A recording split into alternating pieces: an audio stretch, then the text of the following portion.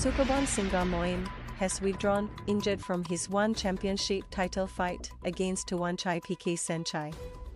The former kickboxing champion was set to challenge for Tawanchai's featherweight Muay Thai title in the main event of One Fight Night 15 in Bangkok on October 7th. Do you have questions about the biggest topics and trends from around the world? Get the answers with SCMP Knowledge, our new platform of curated content with explainers, FAQs, analyses, and infographics brought to you by our award winning team. But he injured his leg in sparring during his fight camp, the Post understands. One chairman and CEO Chatri Sityodtong confirmed the news on Wednesday.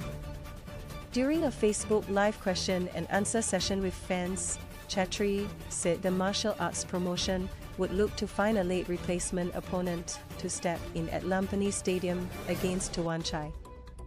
He added that he hopes to rebook the fight for later this year, with Superbon's injury not thought to be long term. One Fight Night 15 had already suffered a scheduling blow last week when Fabricio Andrade and Jonathan Haggerty's super fight was pushed back a month to November. Fights get moved around for all sorts of reasons, Chatri told a Post last week. I'll leave this one behind closed doors, but there is bad blood between the two guys. Early reports suggested one could try to book 24-year-old Thai superstar Tawanchai against rising prospect Muhammad Siasarani, who stunned the legendary Sitthichai Sitsongpeenong in a unanimous decision victory at one Friday fights this month.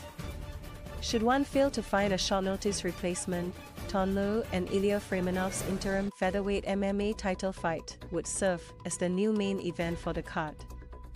In what is likely to be the new co-main event, Jonathan Di Bella will defend his one strawweight kickboxing title against Danial Williams.